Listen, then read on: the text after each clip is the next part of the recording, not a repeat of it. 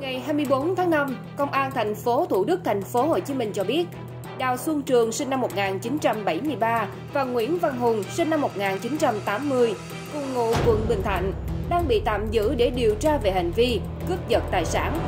Đó ngày 20 tháng 5, qua làm việc, cả hai thừa nhận gây ra nhiều vụ cướp bia ở các cửa hàng trên địa bàn để mang về nhậu. Mới đây nhất, khoảng 15 giờ 25 phút ngày 12 tháng 5, cả hai đến tiệm tạp hóa trên đường 339, khu phố 4, phường Phước Long B, thành phố Thủ Đức.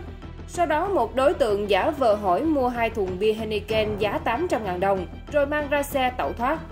Đến 16 giờ năm cùng ngày, cả hai tiếp tục đến cửa hàng trên đường Tây Hòa, phường Phước Long A, dùng thủ đoạn tương tự để cướp 4 thùng bia Heineken và Tiger.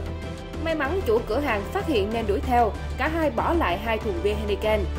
Qua trích lục hồ sơ, Trường mang 4 tiền án gồm các tội trộm cắp tài sản, cướp tài sản, công nhiên chiếm đoạt tài sản và tàn trữ, vận chuyển và tổ chức sử dụng trái phép chất ma túy.